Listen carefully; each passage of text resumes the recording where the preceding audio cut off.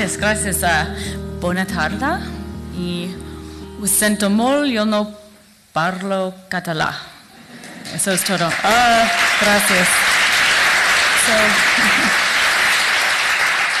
so this is a, this is an important evening for me, and I am so excited to see so many of you here today. So many people out tonight. Thank you for coming out and choosing to be a part of this very important conversation. Uh, this is my first time ever in Barcelona.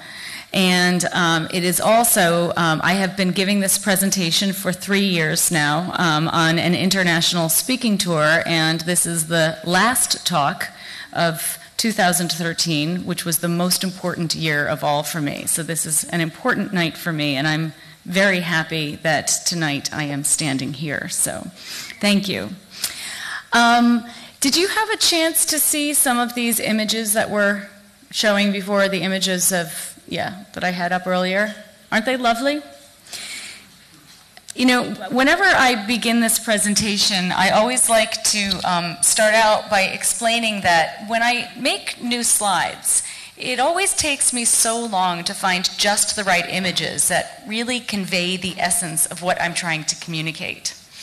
But not when it comes to images depicting the natural connection so many of us have with animals and especially the connection children have with animals. I always find way more that I can use. I mean, there are literally thousands of pictures out there that really capture that childlike sense of wonder, that understanding, that caring. So, because I'll be referring to this human animal connection throughout this presentation, I want to do a brief exercise with you to explore it a bit more fully. I'd like you to try to think of one or more animals in your life who you have felt a connection to. So maybe it was the horse you took riding lessons on, or the guinea pig in your next, next door neighbor's yard. Maybe it was the dog you grew up with, or a hurt bird you rescued. Or maybe it was a fish or a turtle. Now, I want to take a poll. Raise your hand if you were able to think of at least one animal. Okay, that was very easy. More than one animal. That was easy too. Okay, so raise your hand if you have ever felt cared about or loved by an animal. Okay, that's a whole lot of love. And our experience tells us something important. We care about animals. We feel connected to them. We can see examples of this everywhere. We teach our children to be kind to animals, not to harm them. We make animals the heroes of our children's stories and the stars of their shows. When we're walking in the woods and we catch a glimpse of a deer through the trees, or when we see dolphins leaping out of the ocean, or when we notice a delicate butterfly rest resting on a flower, we often feel that sense of awe that makes us just stop and speak in hushed voices and watch with what some might even call reverence. When we hear of an abused or mistreated animal, we recognize the injustice and we feel outraged. When we're at the petting zoo and the piglet chooses our hand to eat out of, we feel special. We get excited. Can you relate to some of these feelings? I mean, I certainly can too. So, before we get started, I want to tell you a little bit about me and my story and how I came to be here today. This is a picture of me and my dog Fritz a long time ago. Um, Fritz was my first dog, but he was also my first friend. We did, my mother tells me we adopted Fritz when he was about two months old and I was about two years old. So we were really just babies when we first met. And we, we did everything together. We played together, we napped together, and we even vomited together once during a sickening summer road trip. It's really true. And Fritz was also my first heartbreak when he died at the age of 13 of liver cancer. And what I didn't realize back then was that Fritz would, or more accurately, my connection with Fritz, would be the catalyst for my life's work. And that's what brings me here today. My life's work as a psychologist, an author, and a professor has centered around one key theme. It's a theme that is central to our freedom of choice and therefore to our personal empowerment and also to so social and ecological justice. And that theme is making the connection. I'm here to talk about our connection with other beings, with ourselves, and with our core values, and about the invisible belief system, the ism, that disconnects us from these fundamental aspects of our lives. I'm here to talk about how this ism creates a disconnect when it comes a, a, gap in our consciousness when it comes to some of the most frequent and important choices we make our food choices and how this gap causes us to act against our own interests and the interests of others so i'm here with a goal which is to raise awareness of this invisible ism to promote personal empowerment and social and ecological justice. Now, I'm going to talk for about one hour, and this presentation will be in three parts. First, we will talk about the problem of the gap. Next, we will talk about the causes of the gap and also the consequences of our food choices on ourselves and our world.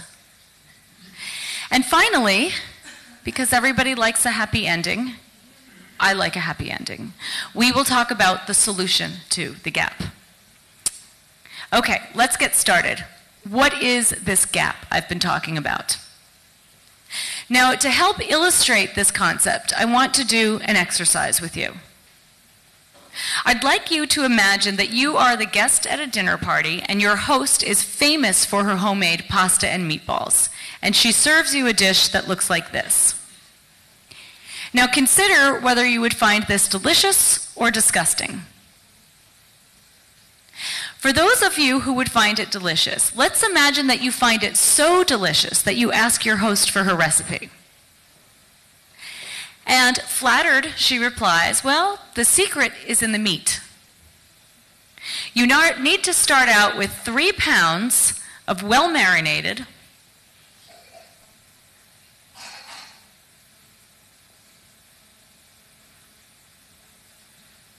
golden retriever. Okay, now take a moment to reflect on your thoughts and feelings. I mean, chances are what you thought of just moments ago as food, you now think of as a dead animal. What you just felt was delicious, you now feel is disgusting. Chances are your experience of the meat dramatically changed, even though nothing about the meat itself actually changed.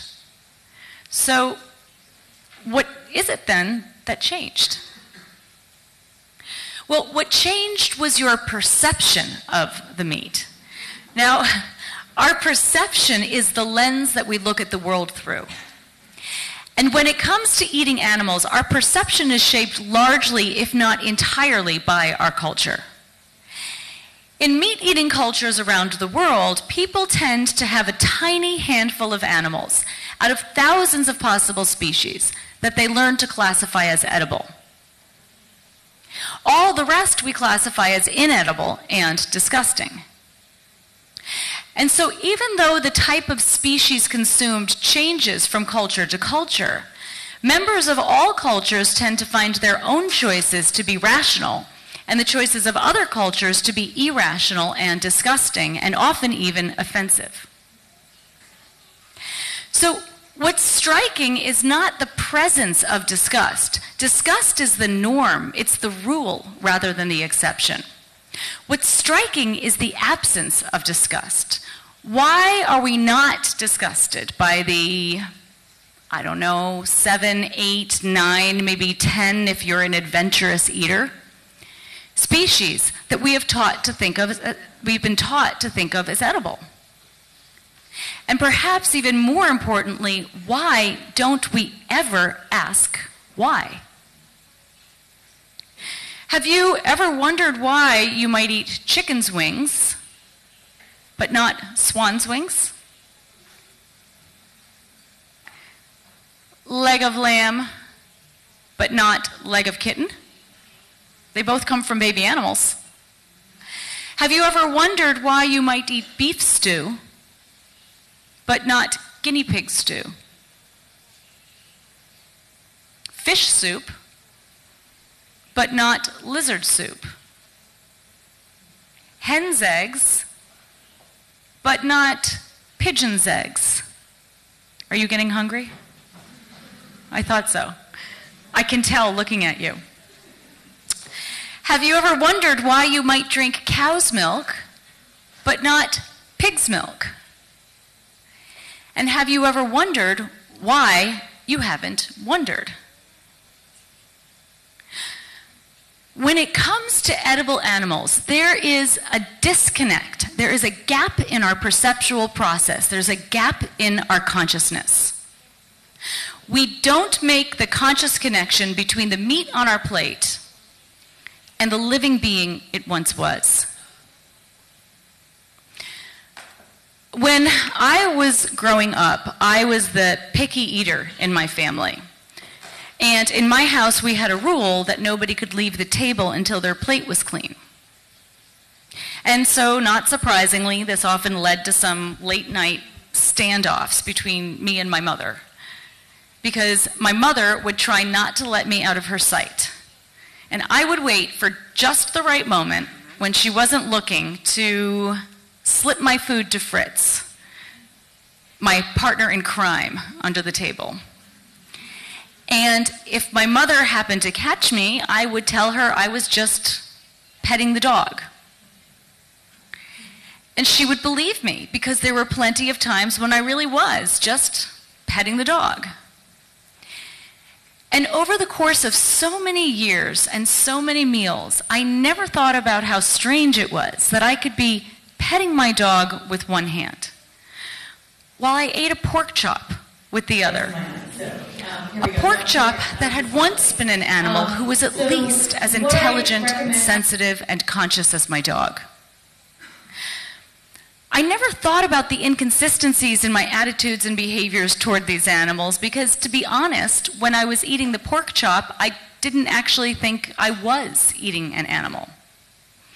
I mean, sure, I knew on some level that whenever I ate meat, someone had to die for my plate, but on another level, I just didn't connect the dots.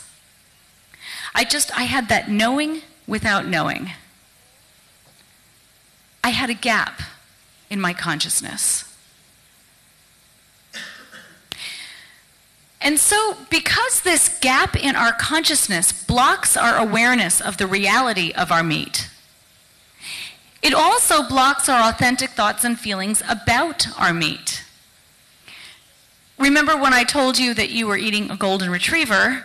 Chances are you couldn't help but think of the living animal and feel disgusted.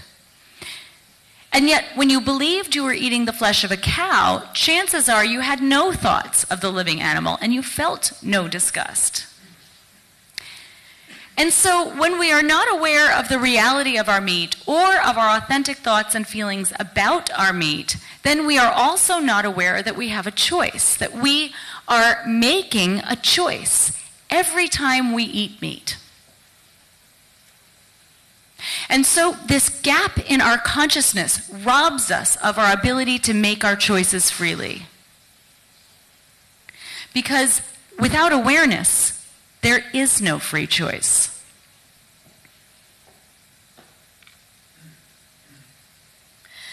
For much of my life, I never questioned my choice to eat pigs and chickens and cows and fish because I never even thought I had a choice.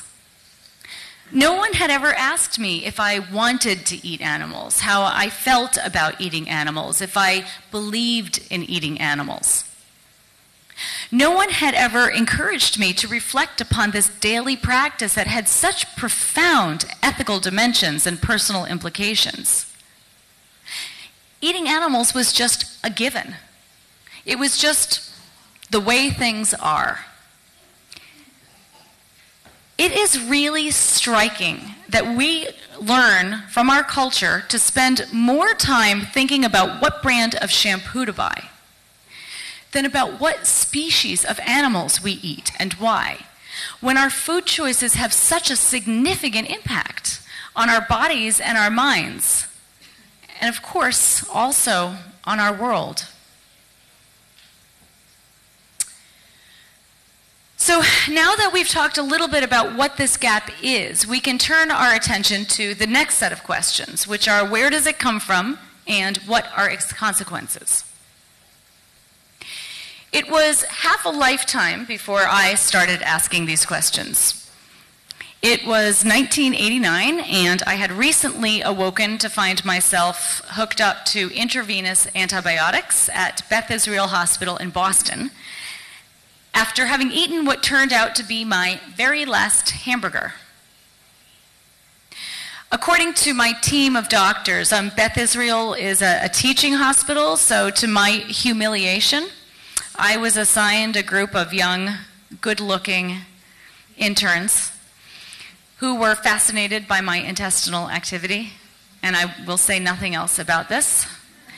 And according to the Department of Public Health in Massachusetts, I had eaten a hamburger that was contaminated with Campylobacter, uh, a foodborne bacteria similar to Salmonella. You may know Salmonella? Yeah, Campylobacter. So for Campylobacter Campylobacter is like, just imagine the worst gastrointestinal flu you've ever had times 10. That's what Campylobacter felt like, to me anyway.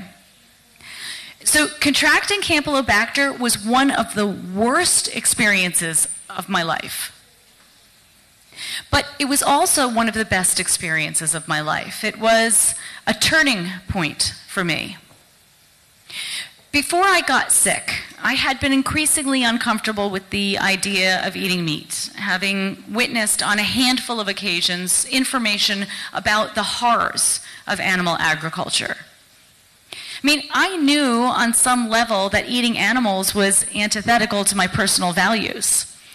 Like most people, I cared about animals and I, I didn't want them to suffer, especially when that suffering was so intensive and so completely unnecessary.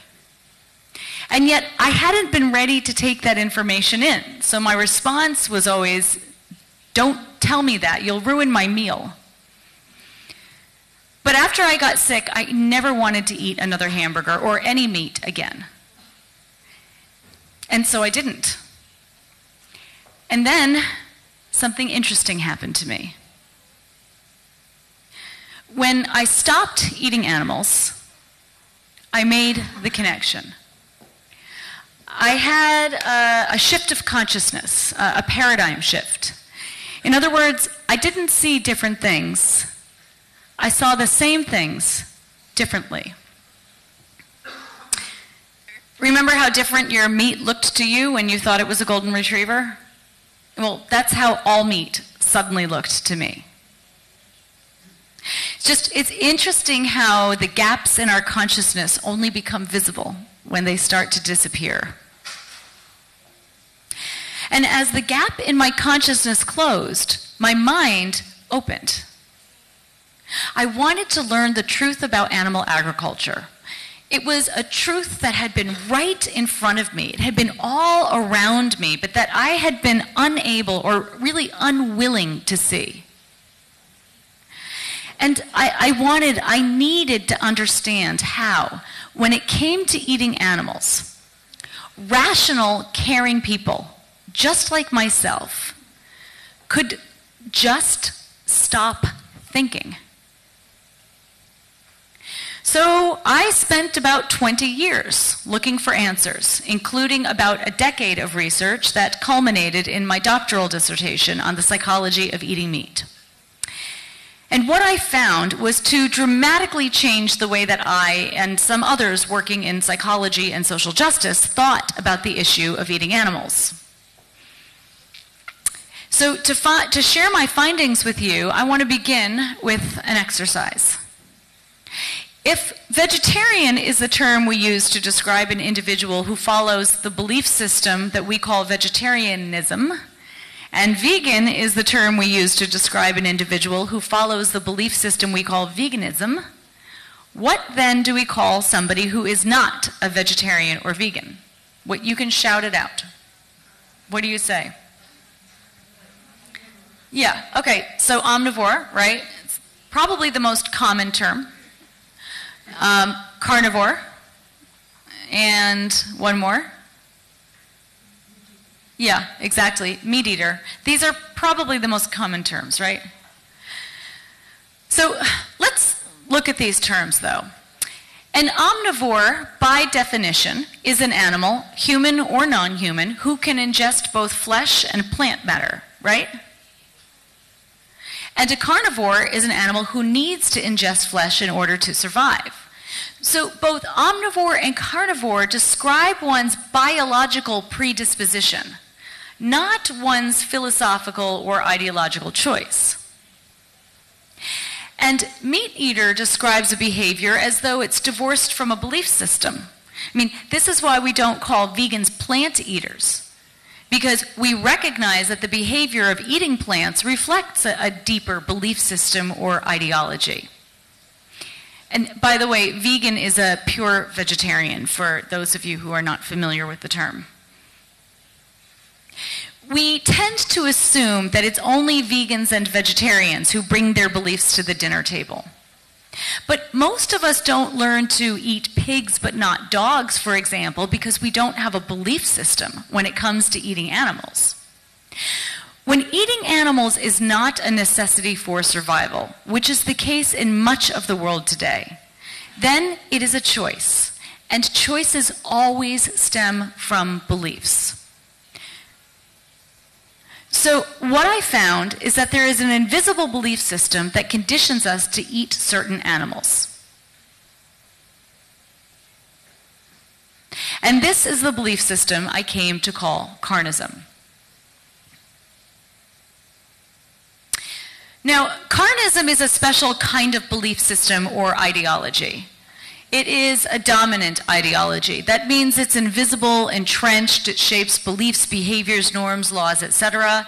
And it is also a violent ideology. Meat cannot be procured without violence.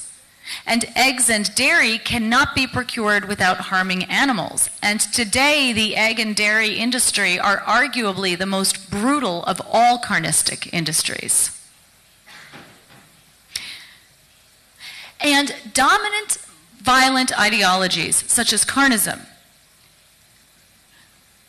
need to use a set of social and psychological defense mechanisms to enable humane people to participate in inhumane practices without fully realizing what they are doing.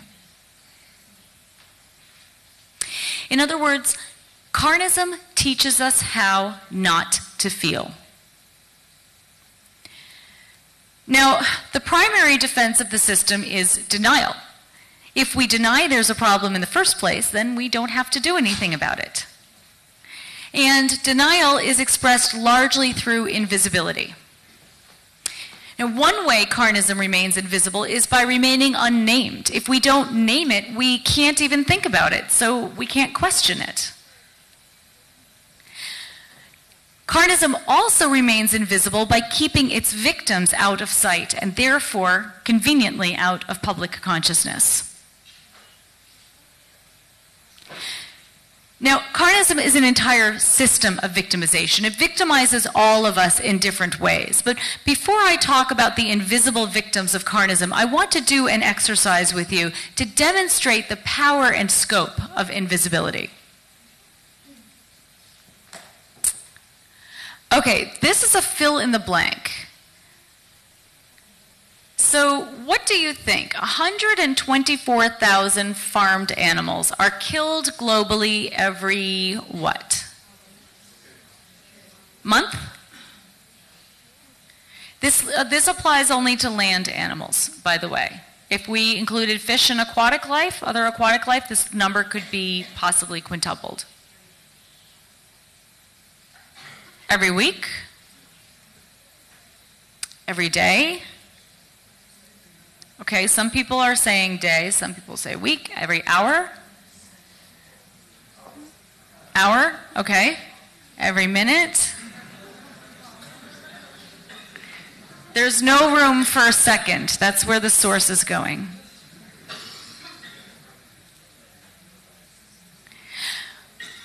If you guessed minute, you guessed correctly.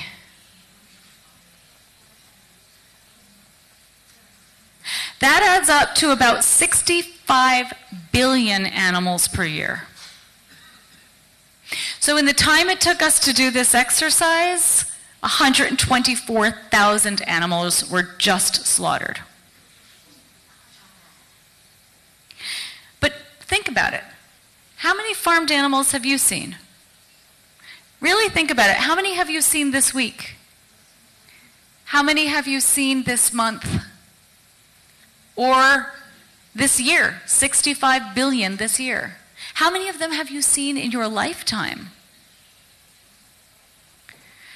So, where are they? I mean, given that these animals' body parts are literally everywhere we turn, why don't we ever see them alive? Well, we don't see the animals whose bodies become our food because we're not supposed to.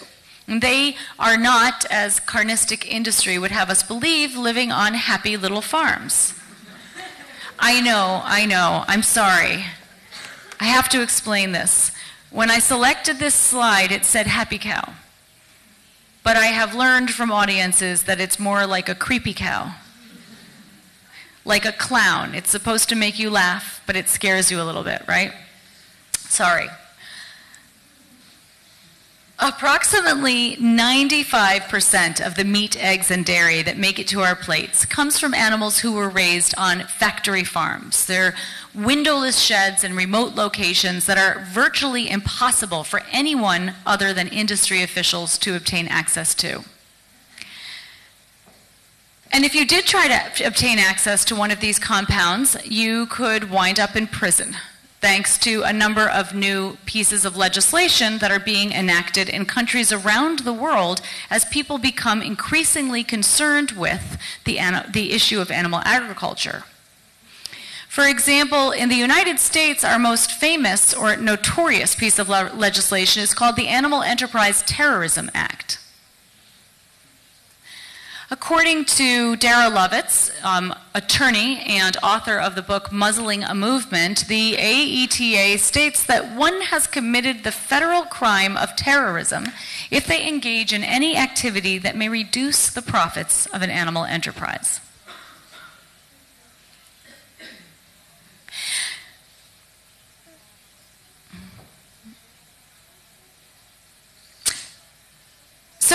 Who are these individuals that carnistic industry works so hard to hide from us? I'm, I'm going to show you a short video um, that's narrated by Dr. Jonathan Balcombe. He's an animal behaviorist and the author of over 40 scientific papers and four books on animal cognition that offers a, a rare glimpse into their inner lives.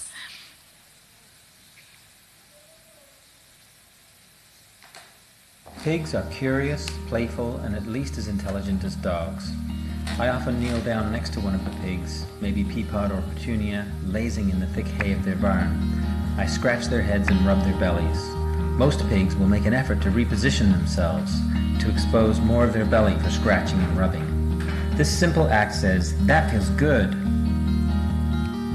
Chickens and turkeys are social birds with a vocabulary of distinctive calls and the ability to recognize other individuals in their flock by their appearance and their voice. Chickens and turkeys also show virtuous behavior. For example, both species use alarm calls to signal the approach of a dangerous predator. Whoever sounds the alarm draws attention to him or herself, but they bravely do it for the flock. A rooster will often call a hen and offer her food, either by pointing to it on the ground or by offering it in his beak. Well-nurtured calves are happy and confident, and their mothers go to great lengths to ensure their care. For instance, veterinarian Holly Cheever was once called out to a dairy when a cow mysteriously stopped producing milk. The cow had recently delivered her fifth baby out in the pasture, and as usual her calf was taken away from her as soon as she led the calf back to the milking barn. Normally, a milked cow produces over 12 gallons per day, but this cow returned from the pasture every evening with an empty udder. Eleven days later, it was discovered she had produced twins. Having lost four previous babies, the mother cow had made a painful choice to allow one of her children to be taken so she could hide the other in the woods. Fishes are grossly misunderstood. Careful scientific studies show that they experience pain, that they recognize other individuals, and they have preferred mates. Lobsters and crabs show responses to painful stimuli that indicate the experience of pain. This information has convinced some regions to enact anti-cruelty laws banning the practice of boiling lobsters alive. There is no longer any reasonable doubt that animals think and feel, and that they have rich emotional and social lives.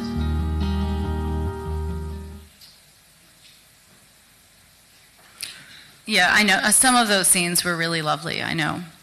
Um, Farm Sanctuary, which is the um, leading farmed animal protection organization in the United States, is unfortunately, and there are farm sanctuaries all around the world, um, these sanctuaries are unfortunately home to only a tiny minority of farmed animals. Um, and so, in a moment, I'm going to show you another very short video that offers a glimpse into the lives of the majority.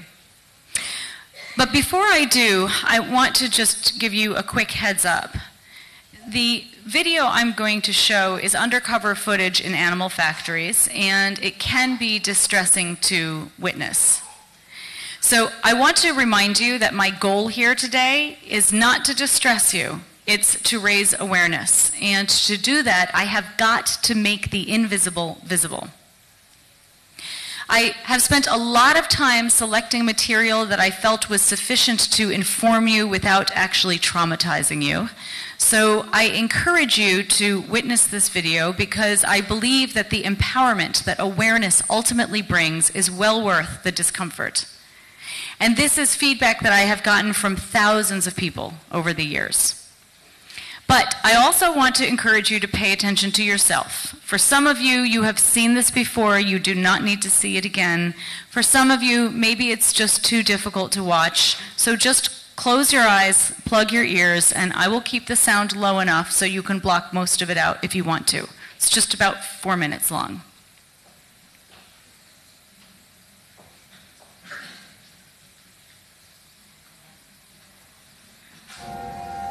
Mother sows are locked in narrow metal stalls barely larger than their own bodies. Soon after birth, piglets are castrated by workers who cut into their skin and rip out their testicles. Next, the workers chop off their tails. Both of these painful procedures are nearly always done without anesthesia. Others are killed by being slammed headfirst into the ground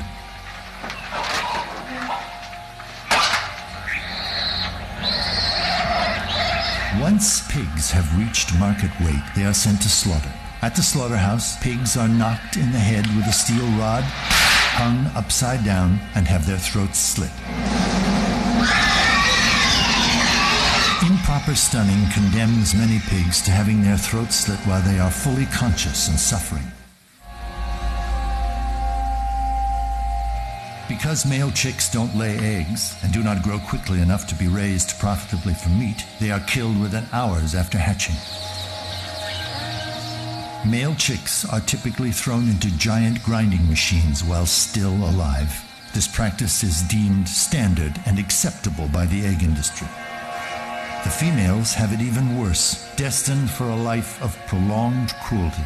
To reduce pecking induced by overcrowded living conditions, workers use a hot blade or laser to remove part of the chick's beaks. After debeaking, the birds are moved to cages where they will spend the rest of their lives. Nearly 95% of egg laying hens spend their lives confined in tiny wire cages like this. Through genetic selection, chickens and turkeys raised for meat have been bred to grow so large so quickly that many suffer crippling leg disorders, chronic joint pain, and even fatal heart attacks. Those who live to reach market weight are thrown into transport crates and loaded onto trucks bound for slaughter plants. At the slaughter plant, the birds are dumped from their crates, then roughly snapped upside down into moving shackles by their fragile legs. They are then pulled across a blade which slices their throats, causing blood to pour from their necks. Calves on dairy farms are dragged away from their mothers and violently killed, all so that humans can have the milk instead.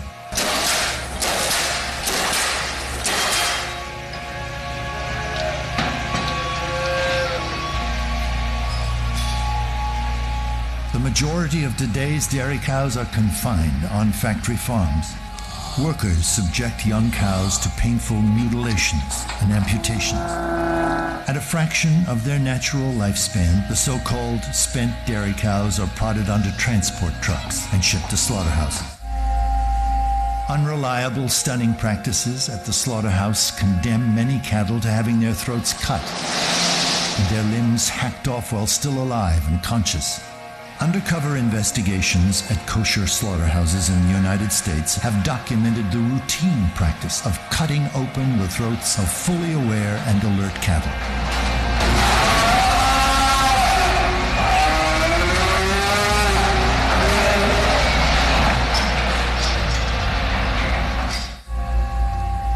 Massive trawling nets indiscriminately drag hundreds of tons of fish and other animals along the ocean floor. They are then tossed on board where the surviving fish either suffocate or are crushed to death. Others are still alive when they are hacked apart on these floating slaughterhouses. Like factory farmed animals on land, farm raised fish are crowded by the tens of thousands in small, disease and excrement ridden areas for their entire lives. When fish reach market weight, they are loaded onto tanker trucks and shipped to slaughter, where common killing methods include slow suffocation.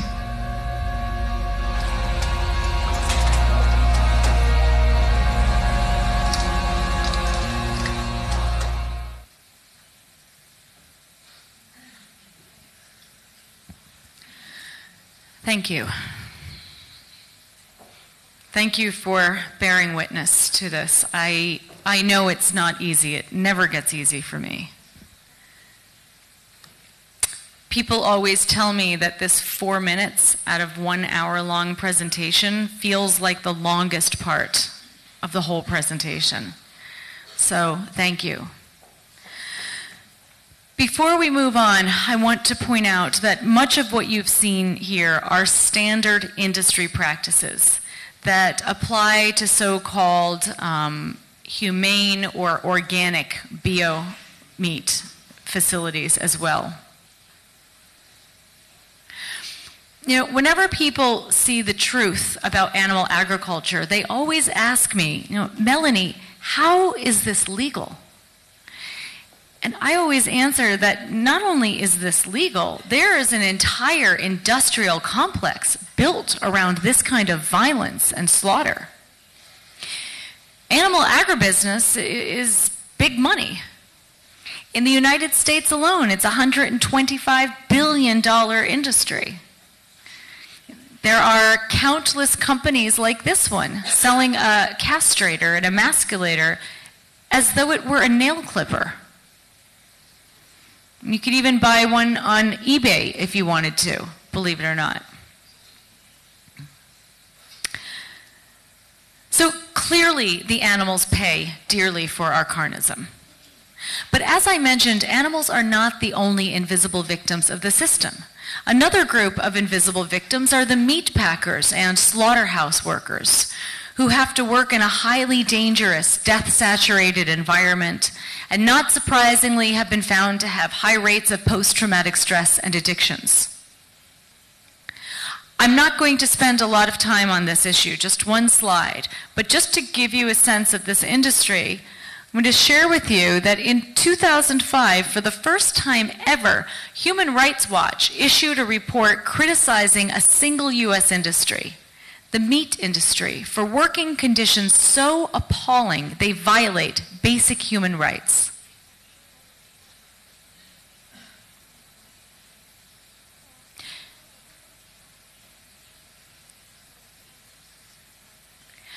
And our environment is an invisible victim of carnism. For example, The United Nations states that animal agriculture is one of the most significant contributors to the most serious environmental problems facing the world today.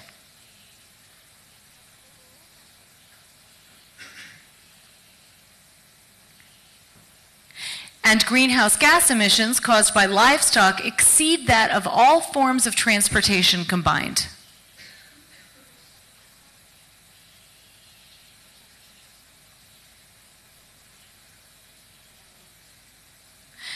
And we are the invisible victims of our carnism. We pay for our carnism with our health, as eating animal foods has been linked with some of the most widespread and serious diseases in the Western world. Everything from obesity to cancer to heart disease and diabetes. In the past five to ten years in the United States and in Germany and in some other places in the world, there has been a raising awareness among medical practitioners of the dangers of eating animal foods.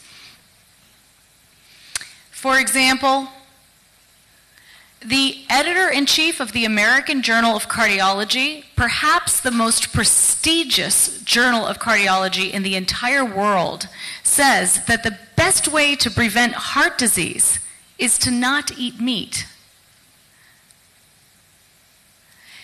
And the chair of nutrition at the Harvard University School of Public Health says that we now know that replacing red meat protein with plant protein lowers your risk of heart disease, stroke, and diabetes.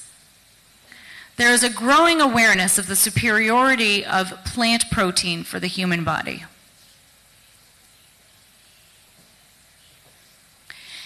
And the Joslin Diabetes Center, which is a famous center for diabetes treatment, says that studies show that following a pure vegetarian, a vegan diet can help with lowering your risk of heart disease and also treating and preventing diabetes.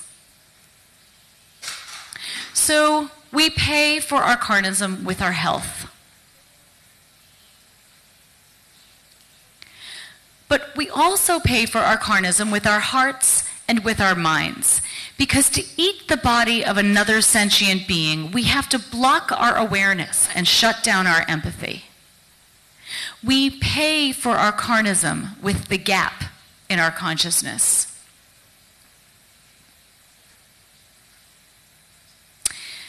Okay, now I have spent a long time talking about invisibility, the main defense of the system. But do you believe that invisibility alone is enough to maintain the entire system? No, I mean, of course not. Hints of the truth surround us. The resistant vein in the chicken drumstick, the hog on a spit at a barbecue vegan guests at dinner parties, and an endless array of dead animals everywhere we turn in the form of meat. So when invisibility inevitably falters, we need to be able to justify eating animals. And the way that we learn to justify eating animals is by learning to believe that the myths of meat, eggs, and dairy are the facts of meat, eggs, and dairy. Now, there is a vast mythology surrounding eating animals, but all myths fall under what I refer to as the three Ns of justification. Eating animals is, what do you think? You're fast. Normal, natural, and necessary. Yes. And it's so interesting to me because I do this exercise with audiences all around the world. People always guess this eventually. Why do you think everybody knows the answer? Yeah, we've heard this all before right? These same arguments have been used to justify violent ideologies throughout the course of human history.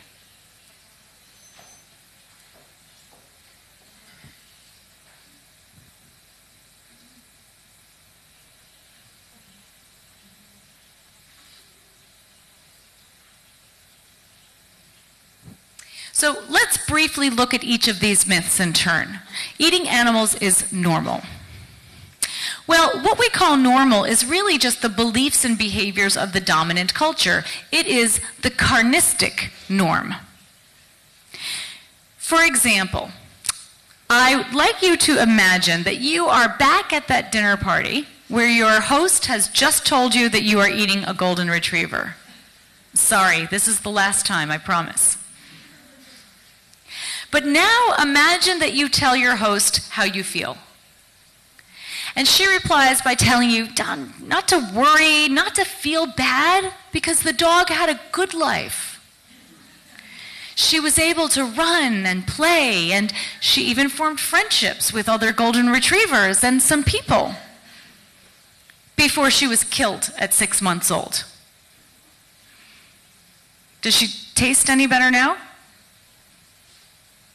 In some ways, she probably tastes even worse because she had a life she wanted to continue living. So ask yourself if you would be opposed to a happy, healthy golden retriever being killed simply because people like the way her thighs taste. Why might you not be opposed to the exact same thing being done to somebody else? Carnism as a social norm is so entrenched that it blinds us to the fact that humane or organic meat is a complete contradiction in terms. Organic meat is a myth. It is a myth constructed by those in the business of violence to appeal to those of us who would ordinarily never support such violence.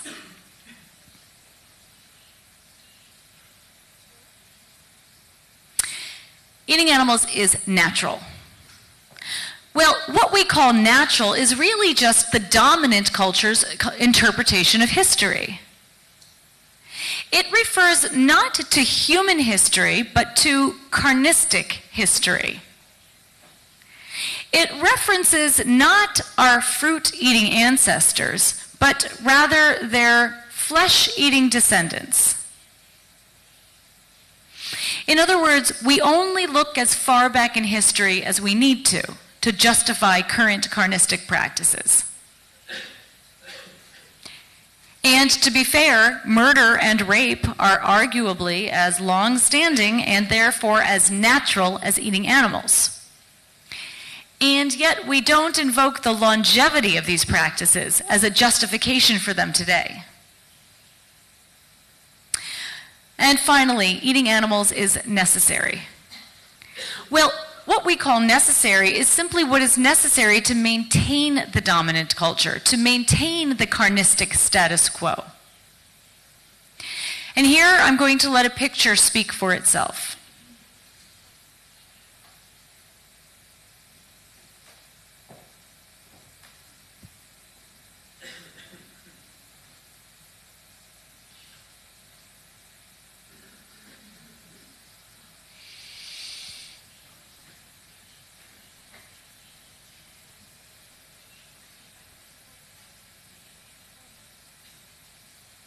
Now, often people um, think that one of the Ns of um, eating animals uh, is necessary, is, is necessary for nutrition. This is often expressed through the protein myth. This myth is very powerful and has been around for a very long time, and it's only in the past decade and really the past five years that, that medical practitioners nutritionists have realized that it is a complete myth. In fact, did you know that you could be strong enough to lift a car without having eaten an ounce of animal protein in your entire life?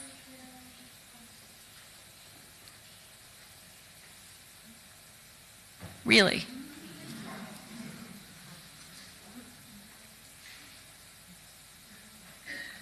And today there are more and more athletes um, who are becoming vegan not simply for animal ethics, for, for ethical reasons, but to improve their athletic performance. There's been some very interesting new books and DVDs coming out that are written by and about um, star athletes and vegan diets. Some of you might know Germany's strongest man who is a vegan. He is a strong man. Looking back on my own resistance to witnessing the truth about eating animals, I could see how the myths had a, a, tremendous influence on me, as they do on all of us. I couldn't close that gap in my consciousness until I was ready to make the behavioral change that would inevitably follow. And I couldn't make that change until I felt safe enough to do so. And I had a lot of fears and concerns. Would I get sick?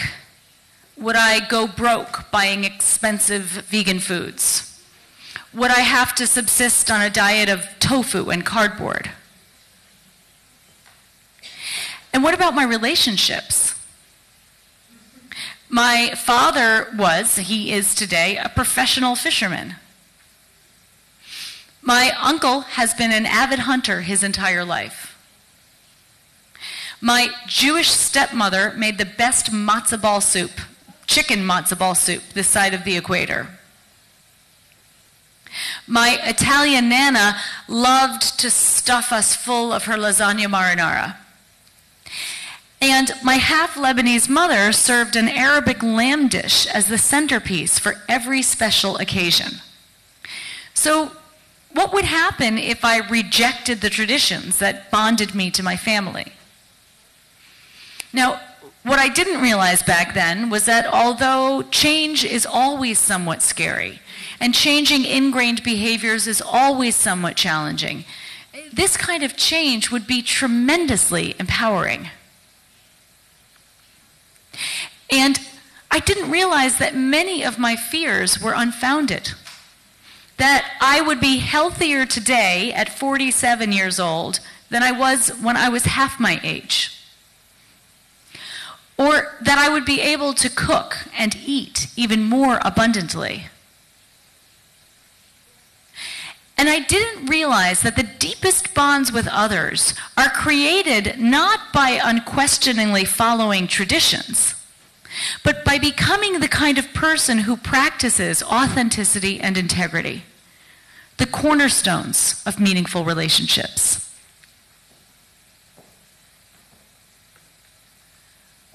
John F. Kennedy once said that belief in myths allows the comfort of opinion without the discomfort of thought. JFK did not underestimate the power of myths, and neither should we, because the myths of meat prevail despite overwhelming evidence to the contrary. And they prevail largely because the system is institutionalized. And when we are born into an institutionalized system such as carnism, we inevitably absorb that system's logic as our own. In other words, we internalize carnism. We learn to look at the world through the lens of carnism. And carnism uses a set of defenses that distort our perceptions of meat, eggs, dairy, and the animals that we eat so that we can feel comfortable enough to consume them. For example, carnism teaches us to see animals as objects. So we learn to refer to this chicken as something rather than someone. Or to call this little baby an it, a thing, rather than he or she. Carnism teaches us to see animals as abstractions, as lacking in any individuality or personality of their own. A pig is a pig, and all pigs are the same. And as with other victims of violent ideologies, we give them numbers rather than names. A meat cutter I interviewed for my dissertation said this to me. I don't think of farmed animals as individuals. I wouldn't be able to do my job if I got that personal with them. When you say individuals, you mean as a unique person, as a unique thing with its own name and its own characteristics, its own little games that it plays? Yeah? Yeah, I'd really rather not know that. I'm sure it has it, but I'd rather not know it.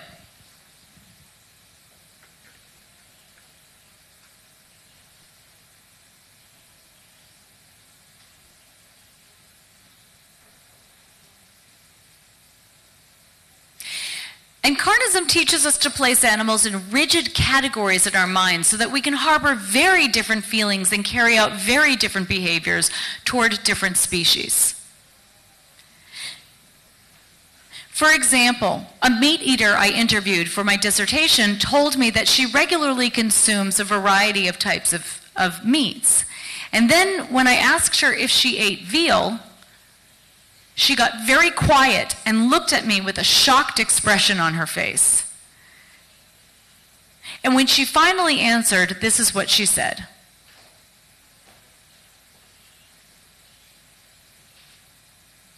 Let's just say I came to your house and you told me that I had just eaten veal. I'd probably vomit. Like, I have to get that out of my system.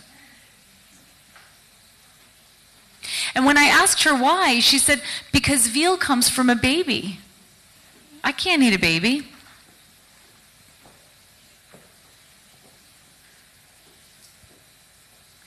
When we look at the world through the lens of carnism, we fail to see the absurdities of the system. So we see images like this, or like this, someone mutilating their own body to be eaten. And we take no notice rather than take offense. Or we see images like this or like this, and we laugh rather than cry. Voltaire was right. If we believe absurdities, we shall commit atrocities. And carnism is but one of the many atrocities, one of the many violent ideologies that are an unfortunate part of the human legacy. And although the experience of each set of victims will always be somewhat unique, the ideologies themselves are structurally similar. The mentality that enables the violence is the same. It is the mentality of domination and subjugation, of privilege and oppression. It's the mentality that causes us to turn someone into something, to reduce a life to a unit of production, to erase someone's being. It is the might makes right mentality that makes us feel entitled to wield complete control over the lives and deaths of those with less power just because we can. And to feel justified in our actions because they're only savages, women, animals. It is the mentality of meat.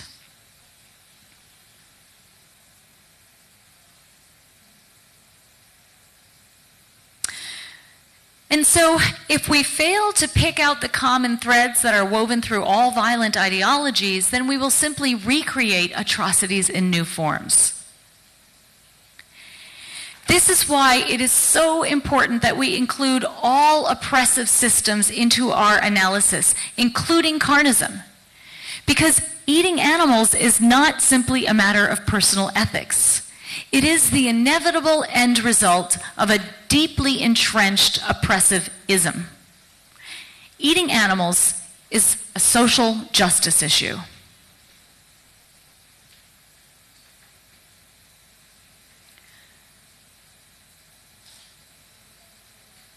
Martin Luther King understood the ways in which oppressive systems reinforce one another he wisely cautioned that injustice anywhere is a threat to justice everywhere.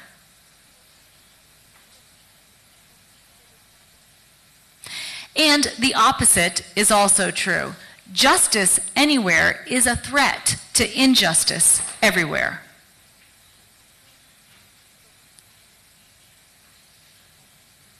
And justice is not an abstract concept. Justice is a practice. It's a practice that can be carried out anywhere. On the streets of the nation's capital, in a courtroom, in a museum.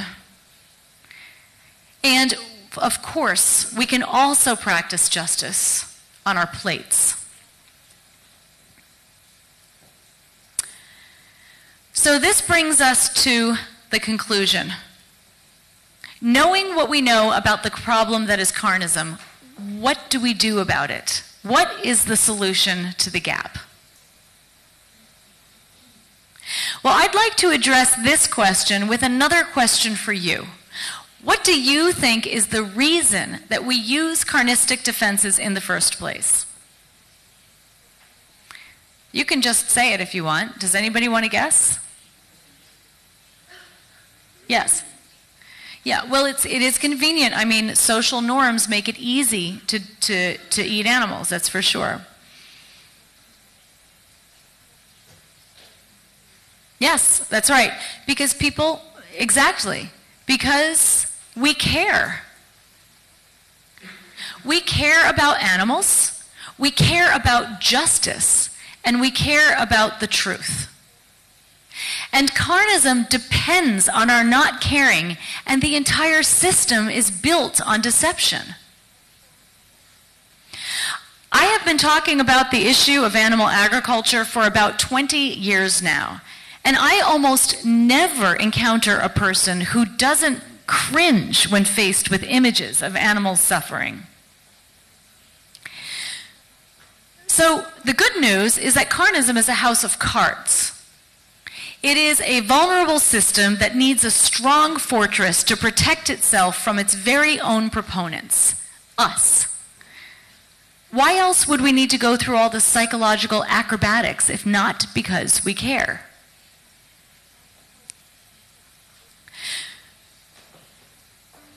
So, our caring is both the problem and the solution. Our caring is what makes us want to turn away from the truth. But our caring is also what gives us the courage to face the truth, the courage to bear witness. When we bear witness, this means that we are willing to see the truth with our eyes and minds and also with our hearts.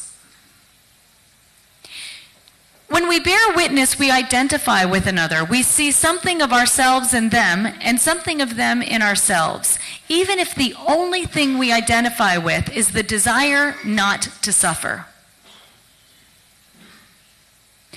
When we bear witness, we empathize with another. We look at the world through their eyes, so that when we make choices that impact them, we ask ourselves, what would he or she ask me to do? When we bear witness, we make the connection. We close the gap in our consciousness and we become more empowered because we become more integrated. We're more in alignment with our core values. Values such as compassion, justice, and reciprocity, the, the golden rule. Values that are diametrically opposed to carnism.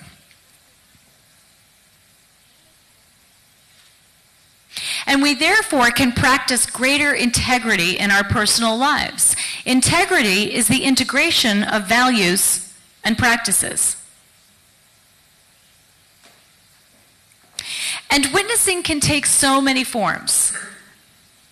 Just think about the fall of the Berlin Wall, the demonstrations in Tahrir Square, the revolutionary music of the 1960s Witnessing can be writing or not writing a check in the name of justice.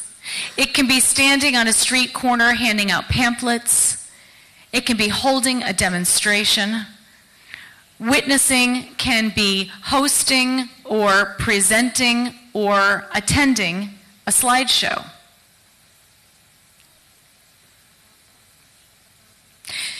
If you think about it, throughout the history of humankind, virtually every atrocity was made possible because the populace turned away from a reality that they felt was too painful to face. And virtually every revolution, every social transformation was made possible because a group of people chose to bear witness. And they demanded that others bear witness as well. For instance, just consider the countless witnesses, the conscientious objectors throughout history. Some who have been famous, but most who have been the unsung heroes of social transformation.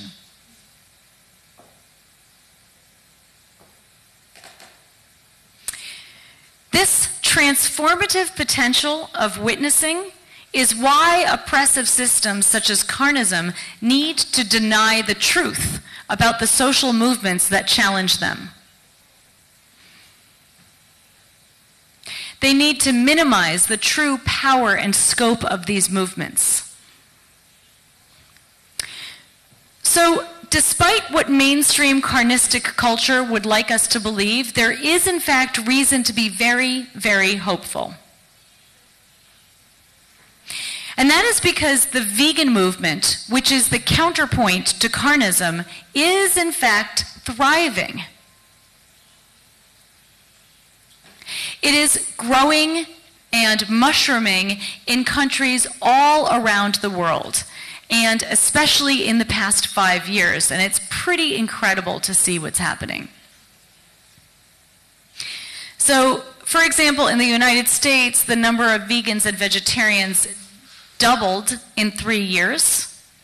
This is a trend that is happening in many places now, including here. The number is growing. More and more leaders and celebrities are saying no to carnism. Ellen DeGeneres has her own website. You know Ellen here, right? She has her own website dedicated entirely to going vegan. Um, vegan cookbooks and innovative foods and restaurants and chefs are just popping up everywhere. It's just, it's incredible to see the explosion of veganism. So, really, moving beyond veganism, it enables us to step into a vibrant community of millions of people and to become a part of something that's greater than our individual selves.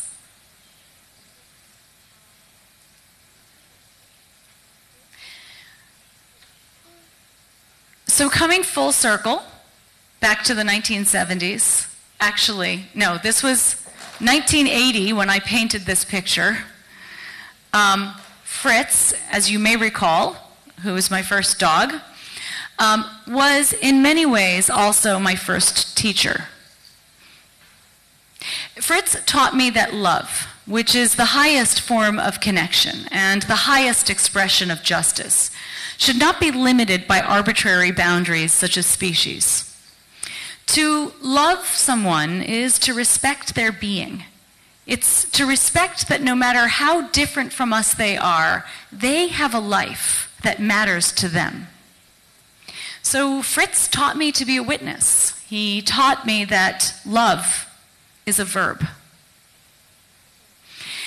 And this is why the goal of my presentation tonight and the goal of my life's work really, has been to raise awareness of the violent system that is carnism. Because for better or worse, we are all participants in this system. So our choice is not whether we participate, but how we participate. And with awareness, we can choose to be active witnesses rather than passive bystanders. With awareness, we can lead more authentic and freely chosen lives. And then we can truly become, as, as Gandhi said, the change that we wish to see. Gracias. Thank you.